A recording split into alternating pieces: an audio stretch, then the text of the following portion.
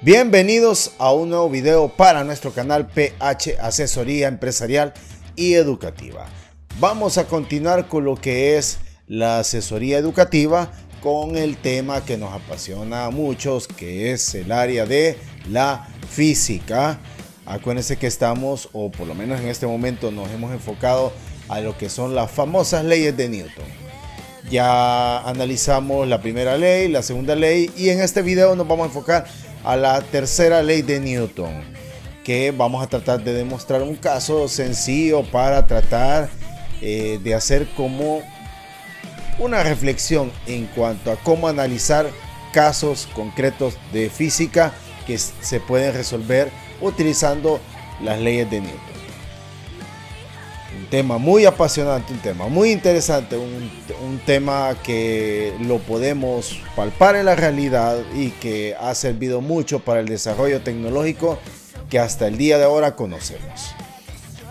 Para, para poderlo aterrizar, eh, hemos, acuérdense que hemos estado hablando primero sobre la parte teórica y de ahí nos vamos a un caso práctico con el uso de la pizarra que hemos estado utilizando para que ustedes lo puedan ver en, forma, en forma general. El día de ahora pues vamos a, centrarnos específicamente en, como lo mencionábamos en la tercera ley de Newton. ¿Cuál es la tercera ley de Newton? Para explicarlo sin el uso de una fórmula específica, la tercera ley de Newton dice que a toda acción o a toda fuerza aplicada o acción existe una fuerza contraria e igual, o sea, con la misma magnitud. Eso es lo que le llaman la tercera ley de Newton.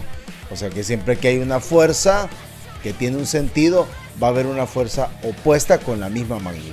Eso es lo que eh, define la tercera ley de Newton. O sea, eso lo podemos eh, identificar, por ejemplo, cuando alguien eh, rebota una pelota a la pared, la fuerza con que la pelota golpea la pared va a ser igual que la que la pared le va a hacer a la pelota.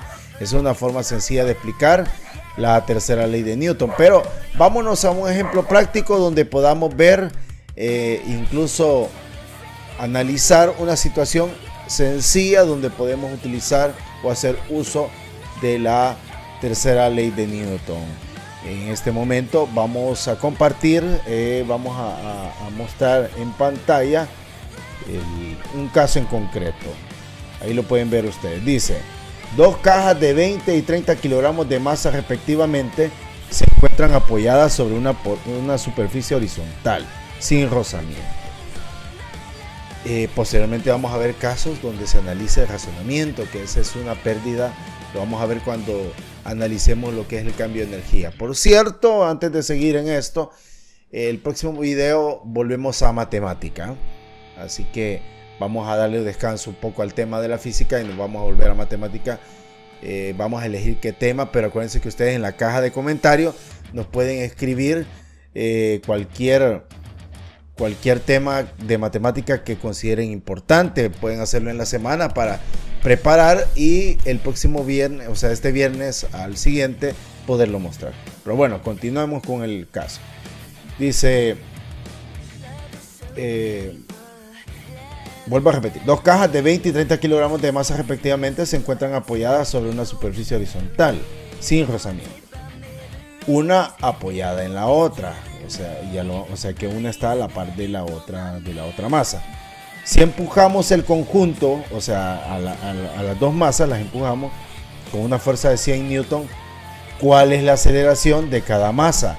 ¿Qué fuerza ejercerá cada caja sobre la otra? O sea, no están consultando que calculemos la aceleración que se va a generar debido a esa fuerza aplicada y cuánto va a ser la fuerza que va a oponer basado en, en la tercera ley de Newton de una masa a la otra. Eso es lo que vamos a analizar. Para ello vámonos ahora a compartir la pizarra para que podamos eh, ver en concreto el caso. Vamos, vamos a compartir en este momento. Vamos a verlo creo que ya ustedes ya pueden verlo ahí. Bueno, Ahí yo ya me había adelantado y, dibujé el esquema. Aquí están las dos masas. Pueden ver que está la masa de 30 kilogramos, la masa de 20 kilogramos. Y se ha aplicado una fuerza que es igual a 100 newton. Ese es el único dato que nos dan. Y con esa, esa fuerza aplicada, los dos cuerpos se van a acelerar. La aceleración va a ser la misma para ambos cuerpos debido a esa fuerza aplicada. Entonces, para poder entender esto, acuérdense que vamos a, basarnos en el hecho de que, vamos a escribirlo por acá, que la, fuerza, o sea, la fuerza F, fuerza F, me va a generar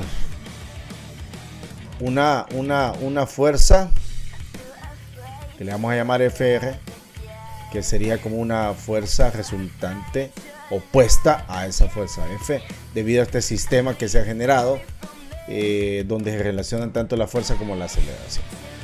Veamos los diagramas de cuerpo libre. Yo he colocado, por ejemplo, al de 30 le he colocado ahí, al de 20B, para poder analizar como sistemas independientes. ¿Para qué? Para poder aplicar el diagrama de cuerpo libre a cada sistema general. Vamos, vamos a analizar el, le voy a poner aquí caso A caso A. Ahí lo pueden observar ustedes. En el caso A, vamos a ver qué es lo que sucede. Vamos a dibujar ese cuerpo, esa masa, esa masa que es la de 30 kilogramos. Vamos a poner acá. 30 kilogramos. Bueno. Está siendo atendida por una fuerza F.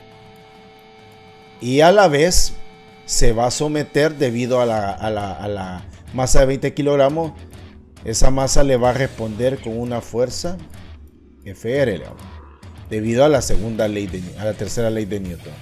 O sea, esta acción se va a generar una acción opuesta a ese sistema. Pero además, acordémonos que este cuerpo va acelerado debido a esa fuerza ah, que se ha acoplado. Hagamos el, diagrama, quedaría entonces la sumatoria de fuerzas. En este caso es en X porque en Y, en Y, no es que sí existen fuerzas en Y, pero no nos interesan para este análisis. Eh, ¿Qué fuerzas están en Y? El peso, pero en este momento no nos interesa. Entonces, sumatoria de fuerzas, voy a buscar esto que hay tengo una equivocación. Como va acelerado, no solamente se aplica la tercera ley de Newton, sino que también la segunda.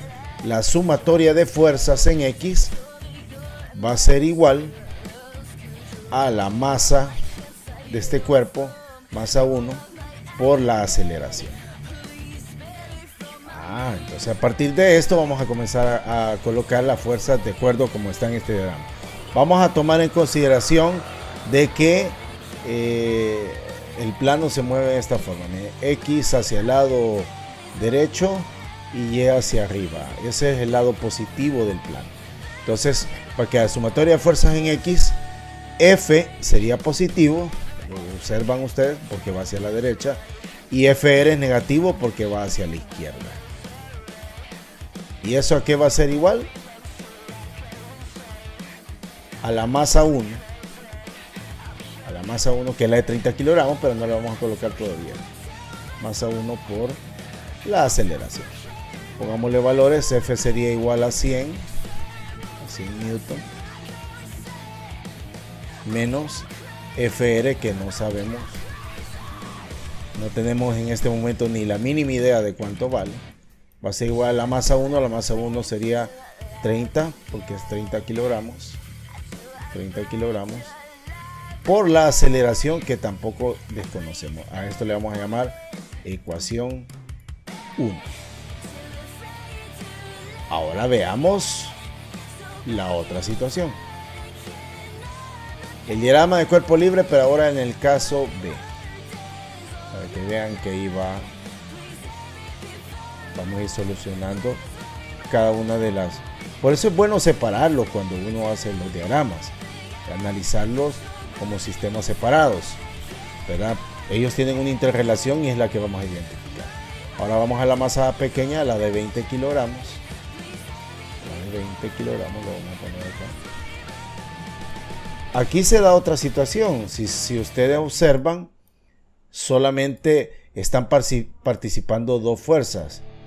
Primero, esta fuerza que ha salido según la tercera ley de Newton, que es la opuesta a la fuerza aplicada al inicio. Y es la única, más la aceleración que está sufriendo el cuerpo. Y nada más. Ah, o sea que aquí si yo me voy a sumatoria de fuerzas en X, va a ser igual, miren, a la masa 2 por la aceleración. Dámosle valores, va a quedar entonces que FR va positivo porque en este caso va para el lado derecho va a ser exactamente igual a la masa 2. ¿Cuánto de la masa 2? 20 por aceleración. Aquí ya me salió la segunda ecuación. Tenemos otra pista para, para poder trabajar. Esto lo vamos a dejar de esta forma. Podemos calcular partiendo de que la fuerza es igual a la masa total por la aceleración. porque estoy tomando masa total? Porque si se fija, el sistema me va, esa fuerza que estoy aplicando me está afectando dos masas, no solo es a una, es a las dos, porque las dos están interrelacionadas, una tras otra. O sea, al aplicarle la fuerza, esa fuerza se transfiere de la de 30 kilogramos a la 20, o sea que es un, es un sistema como tal. Entonces, la fuerza que vale 100 newton sería igual a la masa total, o sea, la masa total sería los 30 más los 20. Estoy analizándolo y con esto vamos a conocer cuánto va el Eso multiplicado por la aceleración. Si esto que está multiplicando pasa a dividir, nos quedaría 100 entre 50, porque 30 más 20 es 50. Y eso es igual a la aceleración. Si divido eso, Ah, la aceleración quedaría igual 100 entre 50 da 2. ¿2 qué? Metros sobre segundo cuadrado, porque esas son las unidades que estamos utilizando en este momento, ya que estamos utilizando Newton. El sistema que estamos ocupando es el, famoso MMKS. Esta es mi primera respuesta. Ya tenemos la aceleración, que era una de las dudas que teníamos. O sea que todo el sistema se va a estar acelerando a 2 metros por segundo. Ahora, para hallar FR, o sea, la fuerza que está resultante, ah, según la tercera ley de Newton, podemos encontrarlo con cualquiera de estas dos fórmulas. Apliquemos la, segunda ecuación que está más fácil de analizar. No tenemos que hacer ningún despeje como en el caso de la ecuación 1. Entonces ocupemos ecuación 2. La ecuación 2 que incluso ya me queda de manera directa. Miren, la fuerza resultante o la fuerza aplicada va a ser igual a la masa que es 20 y lo vamos a multiplicar por la aceleración que sería 2. Si eso, eso lo multiplicamos 20 por 2 nos da 40. ¿40 qué? Newton. E, ese es el valor de la fuerza.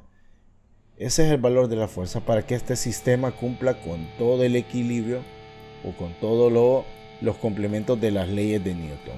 Aquí está y esta es una forma sencilla de poder resolver esta situación de Pueden ver que se ocupó un método fácil y práctico. Hay que entender los fenómenos físicos y hay que analizarlos mediante lo que son diagramas de cuerpo libre. Eso nos facilita el trabajo en mucho, en mucho. Y nos ayuda a entender más cómo se aplican los fenómenos físicos. Con esto terminamos lo que son las famosas leyes de Newton. Si les gustó este video, por favor darle like no olviden suscribirse. Por favor, compártanlo con estudiantes, con cualquier interesado en los temas tanto de física como de matemática.